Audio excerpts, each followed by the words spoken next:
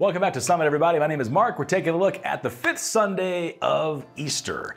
What's the dumbest or craziest or most insane thing you've ever done out of love? And I just mean romantic love, you know, for that special guy, that special girl. I mean, the craziest thing you've ever done out of a sense of a loving relationship. You know, maybe you did something that was really embarrassing out of the love you have for your mom or your dad, or something really, really embarrassing, just outlandish, insane because of the love you have for a friend or a sibling.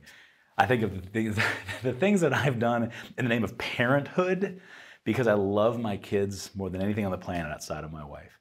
The crazy things that you do for love, and, you, will be propelled by love, you'll be motivated by love. The, the, the things that I've done because I love my wife are things that I would. I'm almost embarrassed to say out loud. So I'm not going to here, so stop. But that's what love does. Love gets you to put up with things you wouldn't otherwise put up with, to try things you otherwise never would. Love gets you to do things so out of your character, out of your personality, out of it even seems your ability sometimes, because you just love, because it's consuming. It's all consuming mind, body, heart, soul. It's just consuming and you just want to bring joy or peace or fulfillment, whatever, to that other. And that's what you see in these readings this week. You listen to this first reading.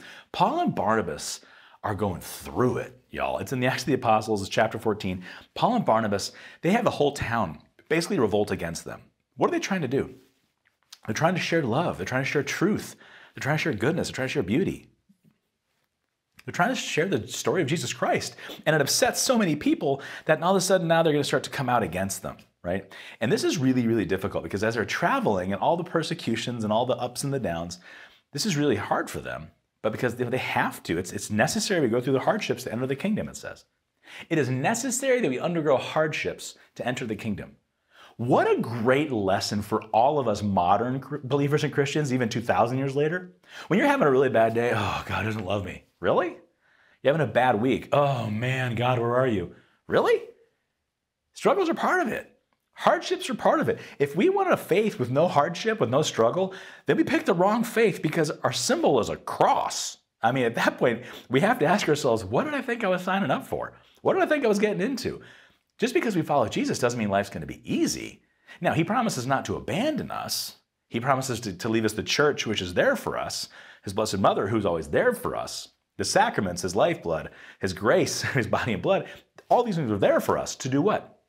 To help us in the midst of the struggle. And this is why we can look at the responsorial psalm and we can still praise. When you hear those words in the psalm, yes, well, praise. Why? Because even in the midst of hardship, in the midst of the storms, God's still there. That's what we're celebrating the second reading, this vision of St. John from Revelation. Christ is the groom, and he's coming back to save his bride. That Christ does not leave us abandoned.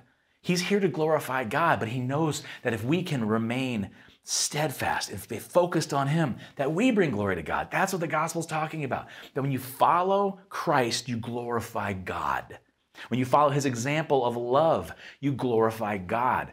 Love and truth in all circumstances. It will require sacrifice, yes. It'll be hard some days, yes. But when you do so, you bring glory to God and you turn others to him. That's what it's about.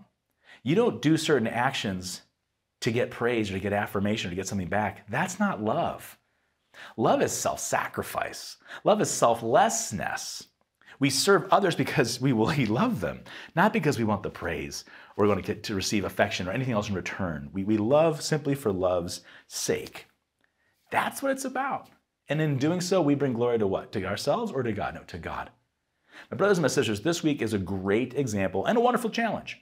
If you really love somebody, be willing to step out of your comfort zone. If you really love somebody, be willing to serve. If you really love God, do everything and anything in your power to bring glory to Him. And in doing so, the others who see you won't just love you. More importantly, they'll love Him.